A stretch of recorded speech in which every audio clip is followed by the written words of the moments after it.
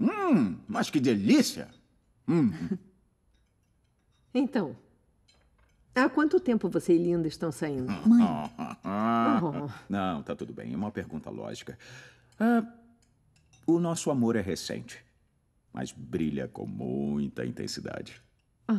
E ele fica gostoso, suado e fedorento.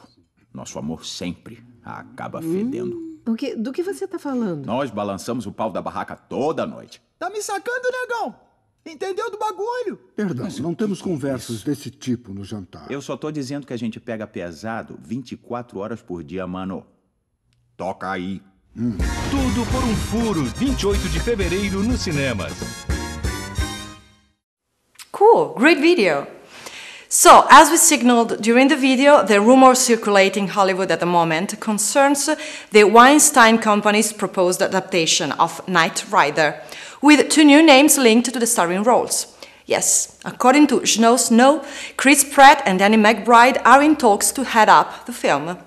The report claims that Pratt is in line to take on the David Hasselhoff role as Michael Knight, while McBride will voice his four-wheeled partner, the talking car, Kit.